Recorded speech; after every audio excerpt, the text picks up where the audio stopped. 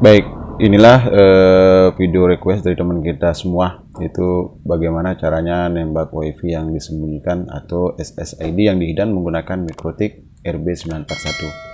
Tapi jika video ini bermanfaat, silahkan Anda subscribe, like, dan juga berkomentar untuk mendukung terus channel Anton Informasi ini.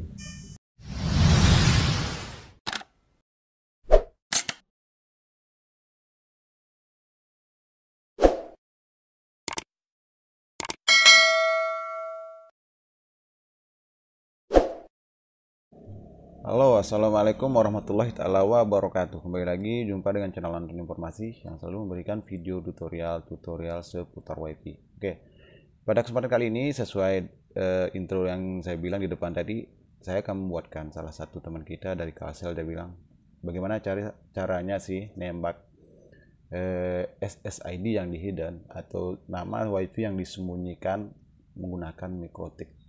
Jawabannya simpel saja ya sebelum saya buatkan video yang perlu kita harus tahu jika kita ingin nembak wifi voucheran itu adalah kita harus tahu nama password, nah, nama eh, wifi-nya dan juga password wifi tersebut.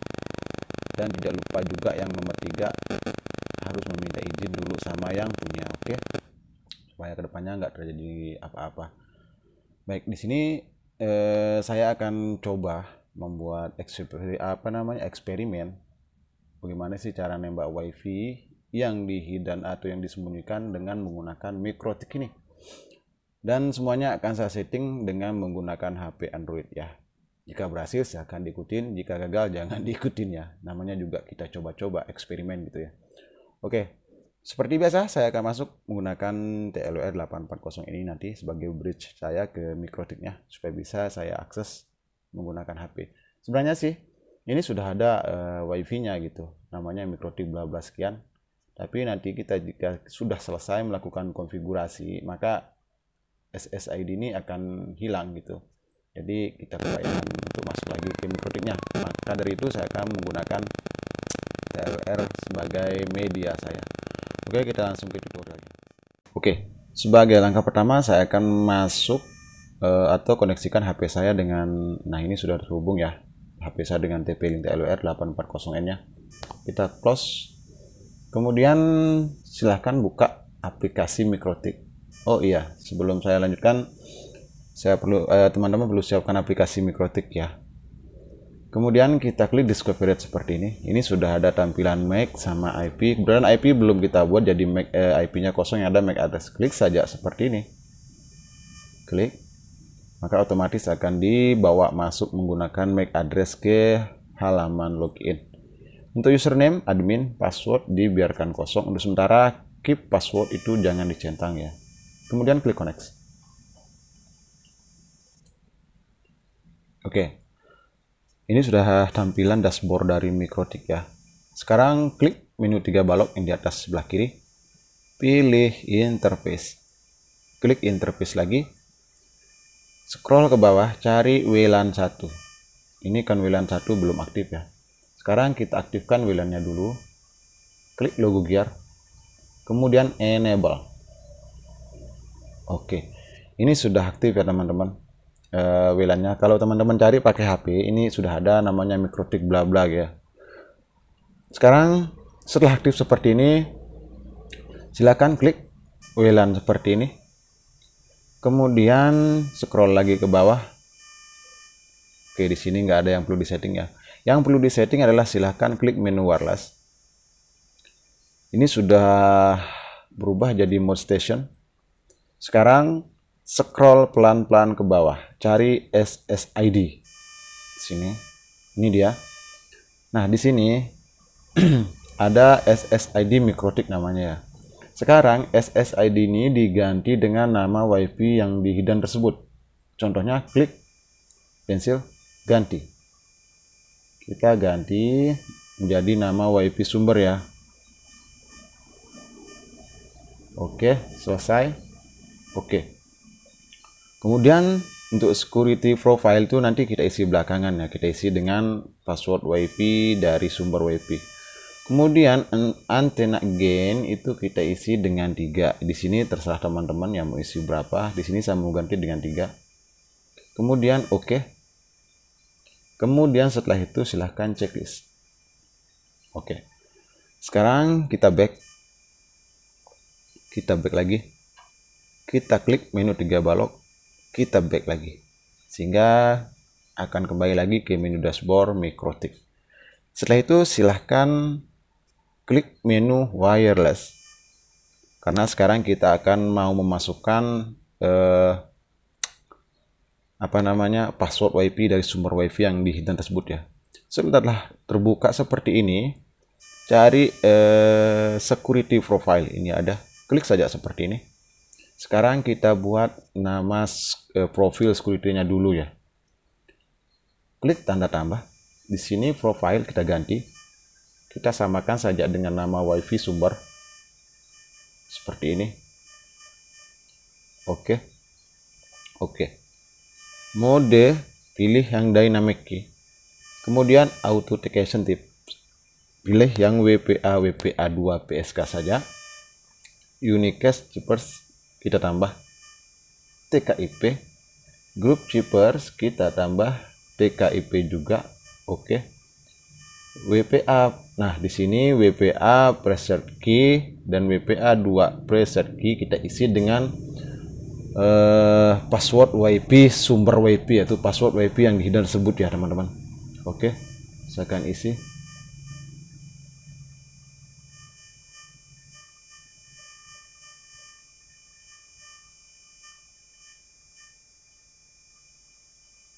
Coba saya lihat. Oke. Lagi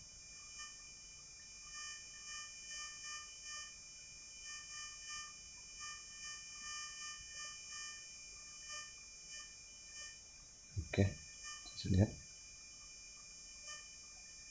Oke.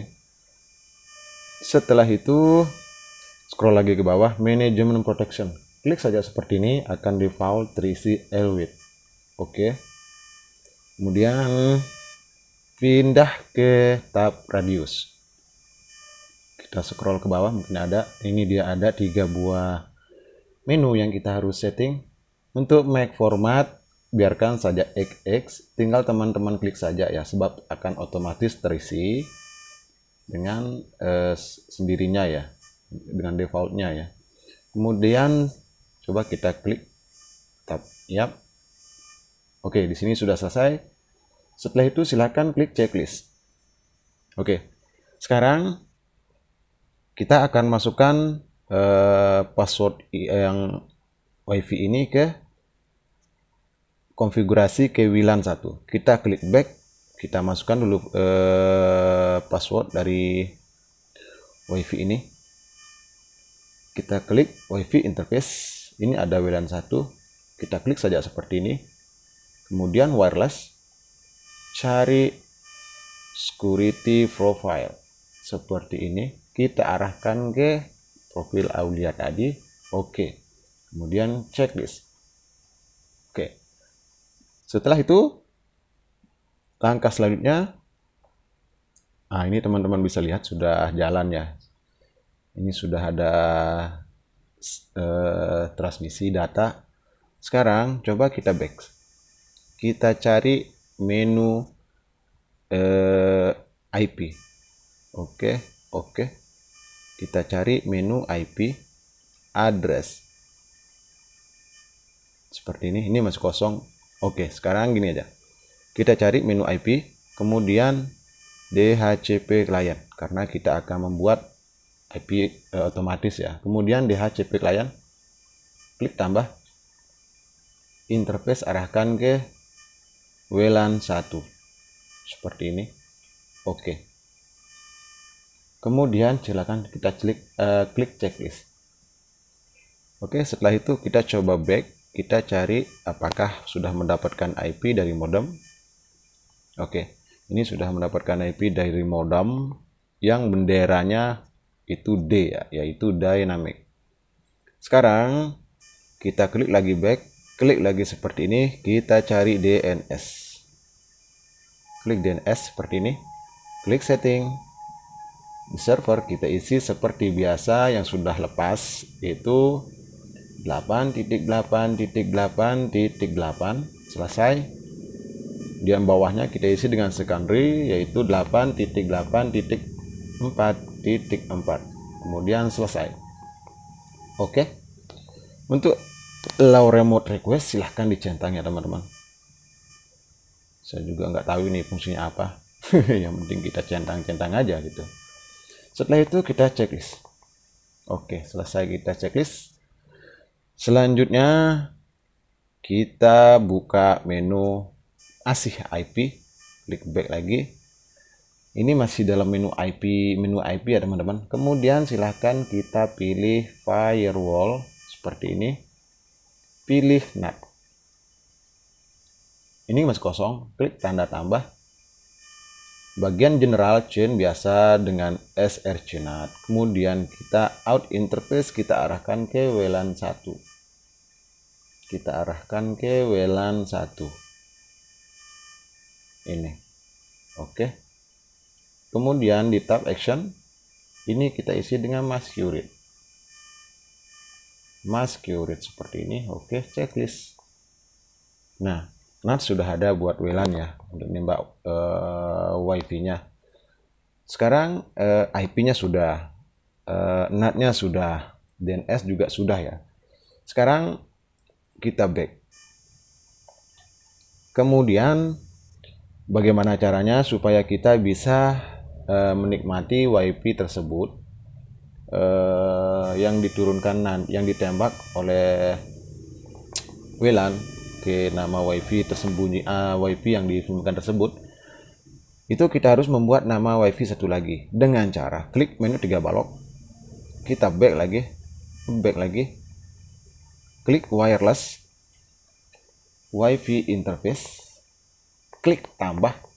Ini ada WLAN satu ya teman-teman. Sekarang kita klik tambah. Pilih virtual.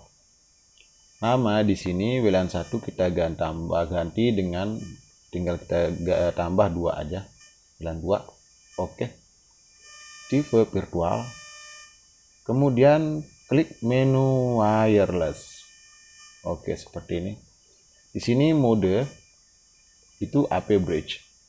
Sekarang kita buat SSID untuk nama WiFi yang dipancarkan nanti ya. Contoh di sini saya akan Anton informasi. Oke. Oke. Master interface kita arahkan ke WLAN 1. Ke WLAN 1 oke. Security profile untuk sementara jika kita ingin satukan eh, passwordnya dengan eh, sumber WiFi kita juga bisa ya tapi kita bedakan saja ya untuk sementara kita ke default oke WPS mode disable saja VLAN mode disable no tag seperti ini sekarang pindah ke tab WDS sini kita tinggal klik OK klik OK saja ya teman-teman non kan seperti ini Kemudian silahkan klik checklist. Nah, tunggu hingga 2-3 menit. Silahkan teman-teman cari pasti ada namanya wifi uh, wifi yang WLAN 2 ya teman-teman buat. Sekarang kita buat password. Klik lagi menu 3 balok, masih di menu wireless. Kemudian pilih security profile. Di sini kita buat baru lagi. Kita tulis di sini, kita samakan dengan nama wifi yang keluar nanti Anton informasi kemudian oke okay. oke okay.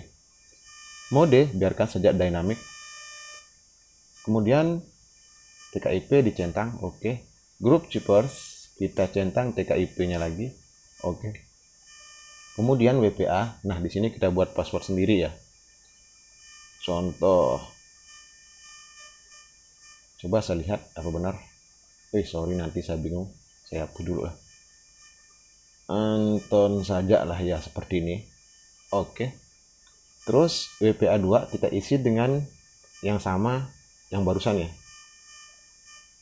oke seperti ini. Coba saya cek. Oke.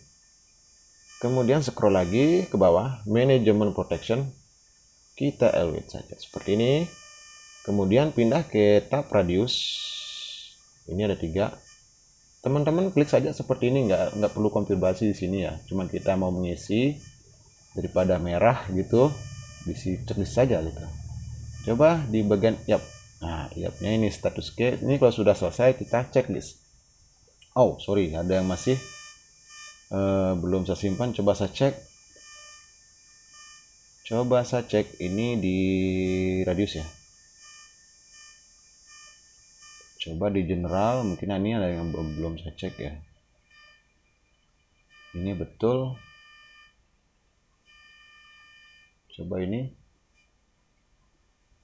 Oke kita checklist WP Upset Net. Oh ini kependekan ya kependekan. Oke kita tambah.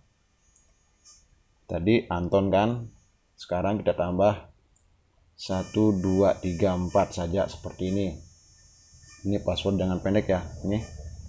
Kemudian di sini saya tambah juga 1 2 3 4 seperti ini. Oke. Oke coba sekarang kita simpan. Oke. Nah ini uh, security untuk uh, Anton informasi sudah ada. Kita sekarang klik back. Kita mau masukkan security-nya atau passwordnya untuk wifi Anton informasi atau WLAN 2 klik seperti ini. Pilih WiFi interface, pilih WLAN 2, scroll ke bawah, cari security profile, pindah ke tab wireless maksud saya. Cari security profile, arahkan ke Anton. Informasi. Oke. Checklist. Nah, ini belum bisa turun ya, teman-teman bisa lihat ini masih 00 BPS-nya atau transfer data. Sekarang kita buat IP dulu ya untuk ini untuk WLAN 2 klik back klik menu tiga balok kita cari IP kita cari IP kemudian addresses kita tambah coba di sini saya akan buat IP 21 titik 21 titik 21 titik 1 slash 24 terserah teman-teman yang mau buat IP seperti apa mau ikutin silahkan ya nggak juga nggak nggak apa-apa ya teman-teman. Oke setelah kita buat IP kita interface menuju ke uh, WLAN 2 oke seperti ini. Oke kemudian checklist. Nah sekarang langkah terakhir kita klik menu masih di menu IP kita pilih DHCP server DHCP klik logo kunci Inggris DHCP setup diklik, arahkan ke WLAN 2. Supaya bisa internet turun ya teman-teman. Setelah itu silahkan klik next. Next lagi, next lagi, next lagi, next lagi. Sambil dilihat ya teman-teman. Next lagi. Oh ini sudah benar. Down. Nah, di sini DHCP sudah selesai. Sekarang coba kita back lagi. Kita mau reboot silahkan klik menu tiga balok. Back lagi. Oke akan disconnect. Oh enggak. Kita cari menu sistem. Seperti ini. Kita cari reboot.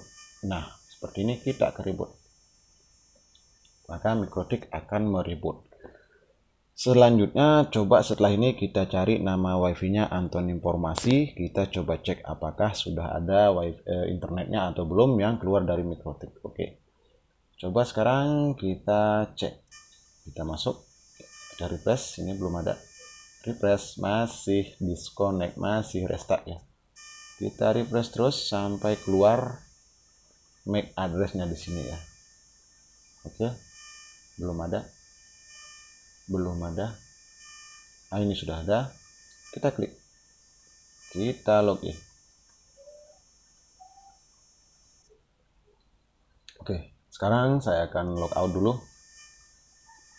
Coba saya akan log out saya mau cek apakah sudah ada wifi nya atau belum ya. Saya keluar oke saya akan cari nama Anton informasi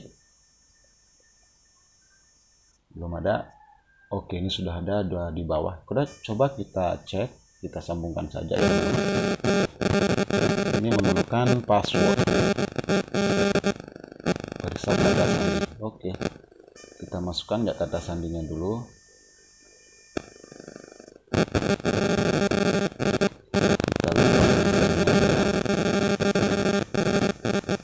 oke kita masukkan dulu di sini passwordnya oke saya back dulu bentar sorry kita cari Anton informasi yang mana ya ini ada kita sambungkan saja kita cek apakah ada internet atau belum ya. Oke saya akan masukkan passwordnya. Anton. Ini saya dulu senang 1234 ya. Kemudian oke. Okay. oke apakah ada atau belum? Dan apakah kita berhasil atau gagal di dalam menembak wifi yang tersembunyi menggunakan mikrofon ini masih menyambung mendapatkan alamat oke teman-teman teman-teman bisa lihat. Kita sudah berhasil ya ini. Nah ini dia. Sekarang coba kita keluar. Kita lakukan speed test. Iya. Berapa Mbps yang didapat? Kita tunggu kita lakukan speed test ya teman-teman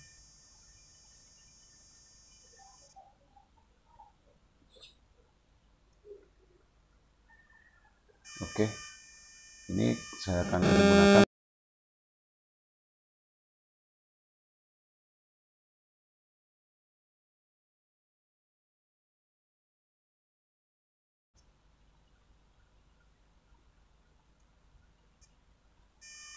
ini agak lemot ya. Misal perkecil kita klik mulai. Kita mendapatkan berapa ya lumayan lah ya. Oke lumayan. Ini kita mendapatkan segini ya. Lumayan sih. Nah di sini kita udah berhasil nembak eh, SSID yang di hidden ya teman-teman menggunakan mikrotik. Nah jika ada pertanyaan atau eh, jika ada ingin menambahkan silahkan tinggalkan di kolom komentar aja teman-teman dan semoga video ini bermanfaat. Sampai jumpa dan assalamualaikum warahmatullahi wabarakatuh. Sampai jumpa pada video, tutorial request lainnya.